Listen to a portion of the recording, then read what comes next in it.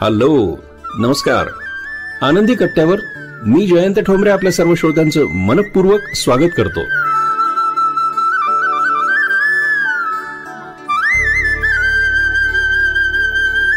श्रोतो नमस्कार. कशी बनली वंदे भारत? अगदी ऐकण्यासारखी आणि आपल्या प्रत्येक भारतीयांना अतिशय अभिमान वाटेल अशीच ही स्टोरी आहे. ही गोष्ट आहे दोन हजार सोळाची. रेल्वेचे एक मोठे अधिकारी खूप मोठे पेशाने इंजिनियर होते. त्यांच्या रिटायरमेंटला केवळ दोन वर्ष बाकी होते. सहसा रिटायरमेंटच्या वेळी जेव्हा अंतिम पोस्टिंगची वेळ येते तेव्हा अधिकाऱ्याला त्याची निवड विचारायची पद्धत आहे. पसंतीच्या ठिकाणी अंतिम पोस्टिंग यासाठी की त्या अधिकाऱ्यांना आपले शेवटचे दोन वर्ष आपल्या आवडीने घर वगैरे बनवावं स्थिर व्हावं आरामात राहावं. पण या अधिकाऱ्यानं आपली पोस्टिंग मागून घेतली ती आय सी एफ चेन्नईला. आय सी एफ म्हणजे इंटिग्रल कोच फॅक्टरी रेल्वेचे डबे बनवण्याचा कारखाना जिथे आहे ते I C F Chennai. Railway बोर्डाच्या चेअरमननी त्यांना विचारलं काय करणार? ते इंजिनियर म्हणाले आपल्या देशाची स्वतःची सेमी हायस्पीड ट्रेन बनवण्याची माझी इच्छा आहे.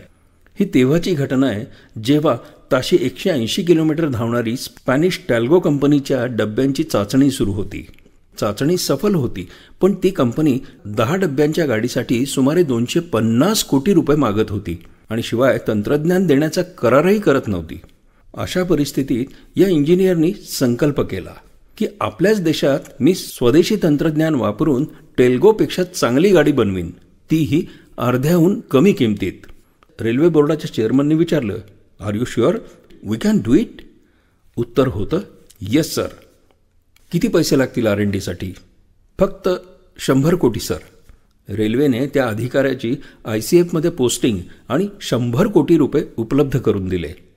त्या अधिकाऱ्यानं लगेच रेल्वे इंजिनियर्सची एक टीम उभी केली आणि सर्वजण कामाला लागले. दोन वर्षाच्या अथक परिश्रमानंतर जे निर्दोष प्रोडक्ट तयार झालं त्याला आपण ट्रेन एटीन म्हणजेच वंदे भारत रॅक या नावानं ओळखतो. आणि ठाऊक आहे या अठरा डब्यांच्या गाडीला खर्च किती आला? केवळ सत्त्याण्णव कोटी रुपये.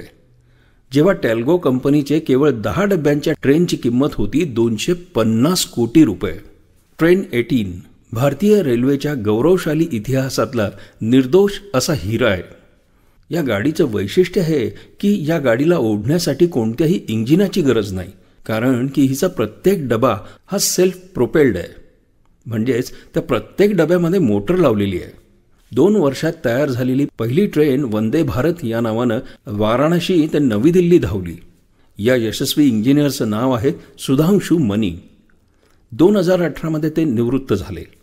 या देशात ट्रेन अठरा या यशासाठी सुधांशू मनी आणि त्यांच्या संपूर्ण टीमचं निश्चितच कौतुक झालं पाहिजे. हे श्री सुधांशू मनी सेवानिवृत्त होऊन सध्या लखनौ इथं राहतात. सुधांशू मनी आणि संपूर्ण या टीमला सल्यूट.